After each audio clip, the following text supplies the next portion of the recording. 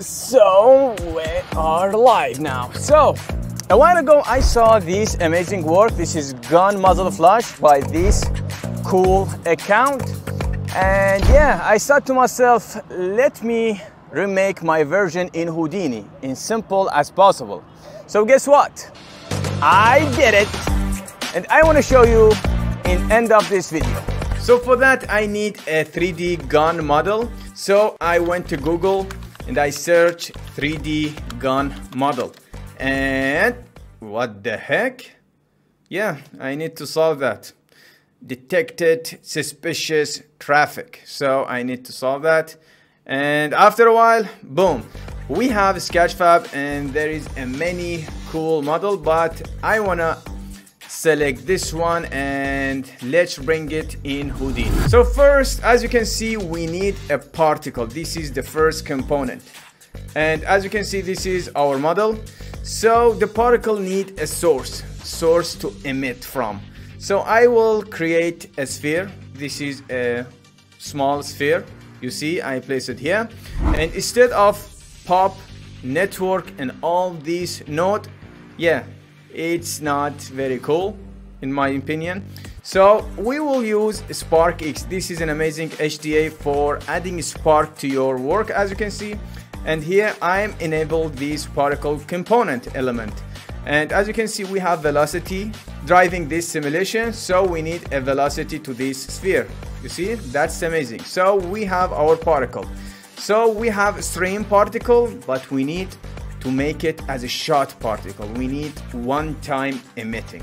As you can see you can change the color and do an amazing stuff.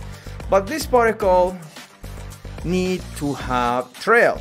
So in SparkX we have a cool trail effect as you can see and we have this randomness as you can see and we can achieve that by randomize these velocity vectors you see this is simple to achieve without any complexity. And as you can see, we have that. You see, frankly, that's amazing. And this is SparkX. If you want to know it more, you can watch this video. And big shout out for these amazing people purchasing this HDA. Thank you guys and enjoy with this one. So now, as you can see, we need a pyro and we need a fire. So you see, we have this geometry for emitting the fire or source as a fire. So I went to sculpt that using VDB and sculpt node. This is simple to achieve honestly and we have our geometry. So instead of pyro and rasterization and set up that with pyro source, we're gonna create another SparkX. As you can see in SparkX we have element called combustion including smoke and fire. So when I enable that, you see it's not cool. Let me change the color. So we have voxel size issue. You see, we can change the voxel size. So what is voxel size?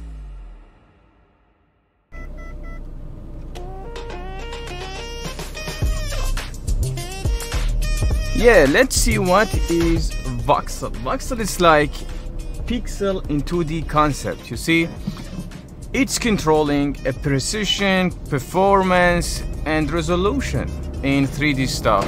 And whenever a field is stored in 3D space like temperature, density, etc., you can control these three parameters with voxel size. And this is the whole concept. As you can see, instead of doing voxel size adjustment, I will adjust the world scale. You see, boom, we have that. It's like we have a bigger canvas in Photoshop, you see? And now we have more voxel. And we have this color range, and this is amazing pyro look. So we're gonna go with that, but the movement is the issue. So we need the same velocity we had with the particle, you see? Now it's everything working towards this velocity. And of course you can multiply the speed yeah multiplying the velocity. And you can emit from this fire source you see? We have emit smoke. This is amazing future. And we need to scale up this source of the pyro. So first I need to place that in here, you see, to scale it in this direction, and as you can see, and I animate that, you see, and boom, now we have that. But the problem is, the shot is not working here. We need more frame to emit, you see. So I wanna keyframe that, as you can see. And boom. Working so far so good. If you like this kind of video, please hit the like button and subscribe for more content. I will be so grateful guys. So we have our fire and smoke and our particle, but we're missing something. You see the particle has air resistance.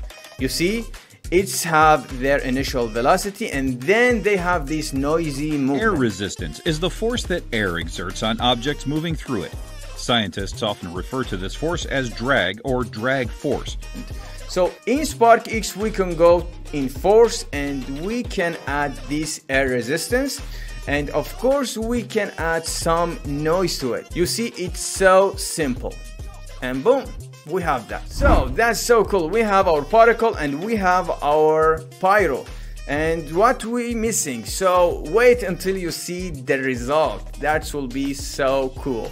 So now as you can see the reference has some camera shake and I thought this is the gun shaking but as you can see this is a camera shake. So we're gonna create a camera. This is simple and we can go in motion FX and noise and you can have your noise. You see you can adjust the amplitude and you can adjust a lot of this parameter.